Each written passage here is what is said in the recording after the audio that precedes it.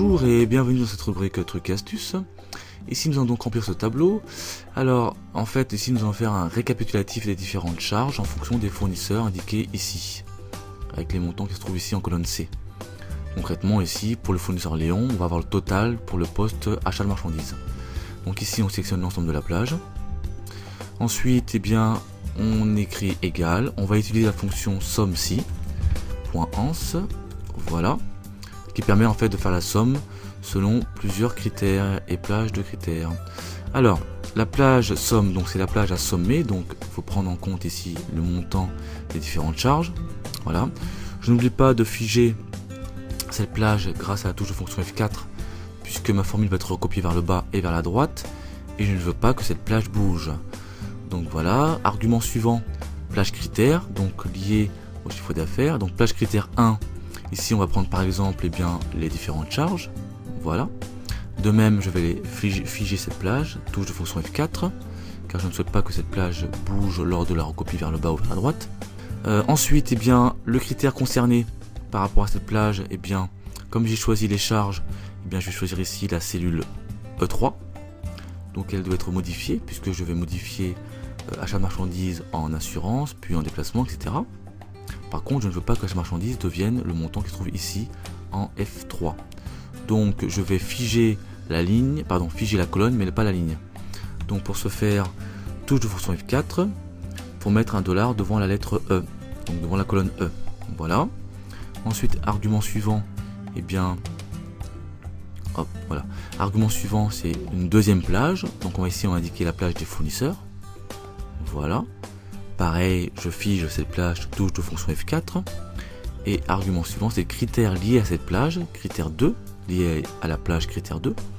Donc ici, je vais cliquer sur Léon, F2 donc, et F2 doit devenir G2, puis ensuite H2. Par contre, on ne doit pas devenir F3. Donc la ligne doit être figée. Donc pour ce faire, touche de fonction F4 pour figer ma ligne. Donc mettre un dollar devant le 2. Ensuite, eh bien, c'est tout. Donc, je faire la parenthèse, contrôle entrée, et j'ai donc d'un coup d'un seul les différentes sommes qui sont indiquées ici. On va vérifier ici, par exemple, pour le fournisseur Martine et le poste achat de marchandises. Donc, ce montant de 10 566. Alors, Martine achat de marchandises, donc j'ai ce montant-là. Touche contrôle pour sélectionner une autre cellule. Alors, Martine, achat de marchandises, voilà. 3777 et c'est tout. Donc maintenant je vérifie, ici j'ai bien 10 966 qui est donc la somme, hein.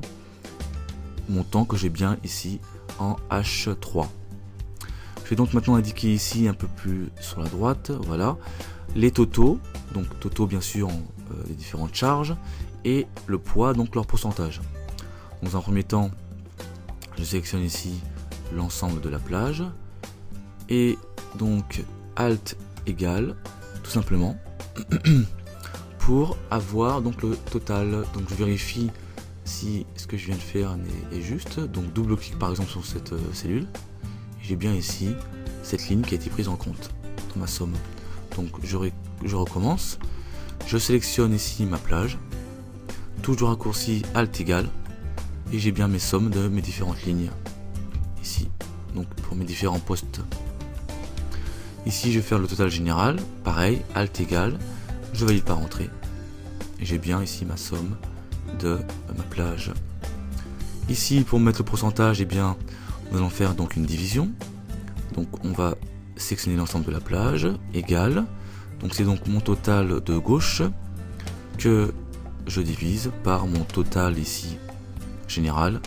Je n'oublie pas de figer cette cellule car ma formule va être recopiée vers le bas donc touche de fonction F4, voilà, et contrôle entrée. Donc ici, bien entendu, j'ai des, décimales, ce qui est tout à fait normal. Donc je vais sélectionner l'ensemble de ma plage ici, et je vais indiquer un format pourcentage qui se trouve ici. Voilà. Donc maintenant, ce que je vais faire, c'est que je vais faire la somme de cette plage, donc Alt égal, et je dois trouver 100, logiquement. C'est bien le cas. Donc voilà, à très bientôt dans cette rubrique trucs et astuces.